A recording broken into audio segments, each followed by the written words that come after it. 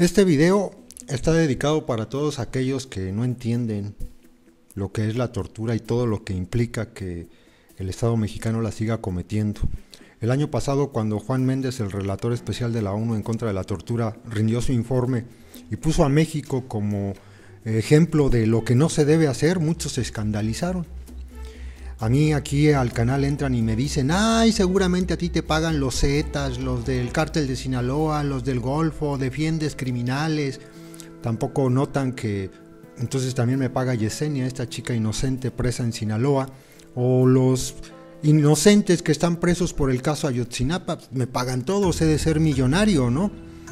Solamente porque me opongo a que se siga llevando a cabo esta práctica en México tan estúpida, y este es un ejemplo que me gustaría que entraran y me dijeran, ah, caray, este, sigues estando mal, no, no estoy mal, ustedes están pendejos.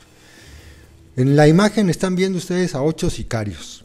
Cuatro de ellos pertenecen a la Sedena y cuatro trabajaban para el Teo en Tijuana.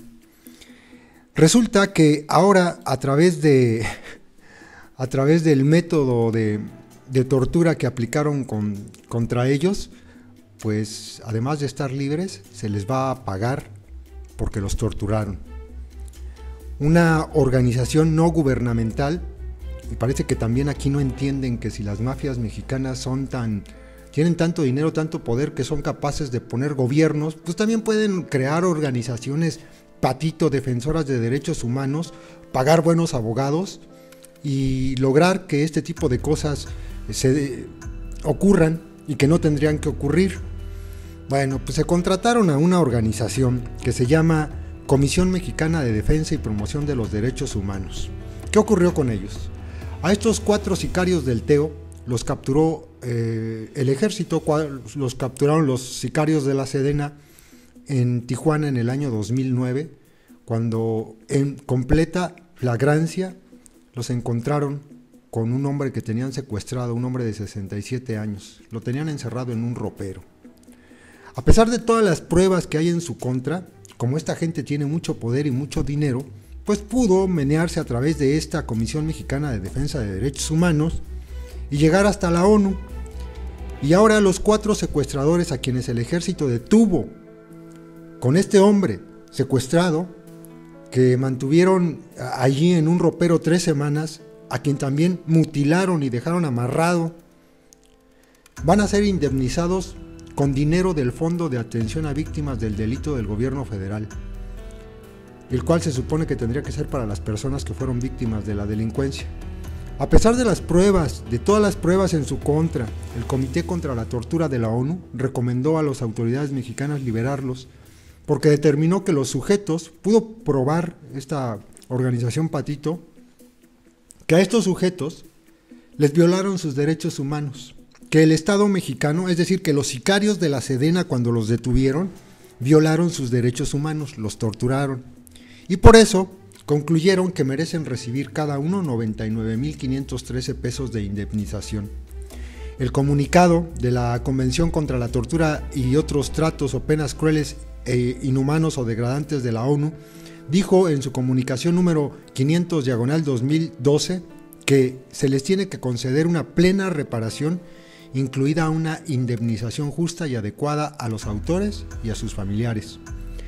Sus nombres son Ramiro Ramírez Martínez, alias el Rambo, Orlando Santolaya, alias el Chuletas, Rodrigo Ramírez Martínez, el Gordo, y Ramiro López Vázquez, que fueron detenidos en las playas de Rosarito después de que tenían secuestrada a esta persona allá en Tijuana. Bueno, durante su detención el ejército incluso les, eh, les incautó un arsenal completo, el que ustedes vieron en la primera imagen, completo, fusiles de asalto, cargadores, ametralladoras, chalecos antibalas, miles de cartuchos.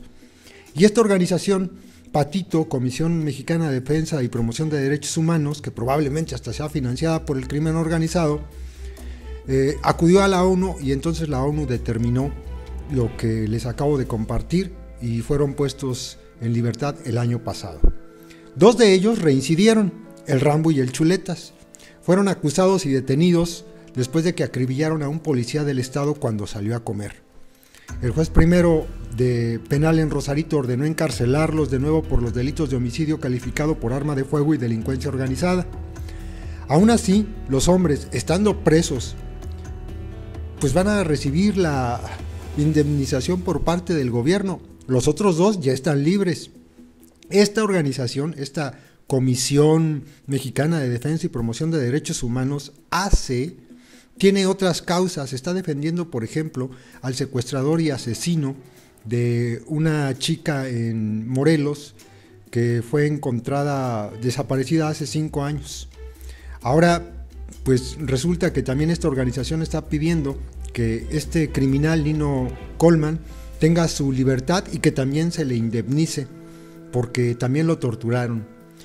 Aquí el problema es el siguiente y ojalá lo entiendan, que mientras los sicarios de las diferentes corporaciones policíacas sigan cometiendo este tipo de prácticas para arrancar confesiones, ya sea que a la persona detenida se le pueda, ya sea que la persona detenida sea delincuente o no, van a seguir ocurriendo estas cosas.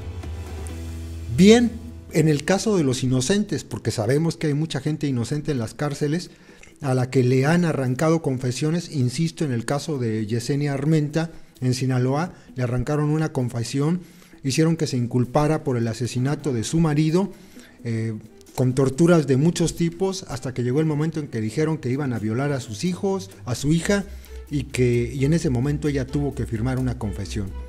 Para este caso, pues bueno, Yesenia tendría que estar libre y, y hacerse válido esto que tiene que funcionar así, debe funcionar así. Un testimonio arrancado bajo tortura, si se demuestra que así ocurrió, pues no puede servir, no es prueba de nada y tiene que ser liberada la persona. En ese caso está bien, pero en estos casos, cuando los criminales los encontraron, encontraron a esta persona con el secuestrado en el closet después de que lo golpearon, lo mutilaron, enfermo, con eh, graves eh, síntomas de inanición, o sea, completamente demostrado el arsenal, pues también aplica para ellos. A ver si de una vez le entienden y le cambian el chip, que el problema de la tortura en México es muy grave y que por este tipo de acuerdos firmados que ha firmado México a nivel internacional para erradicar la práctica, pueden quedar libres criminales como estos y que después se les tiene que pagar una indemnización de este fondo para las víctimas que pagamos todos nosotros. A ver si le entienden y dejen de decir burradas. Saludos compas.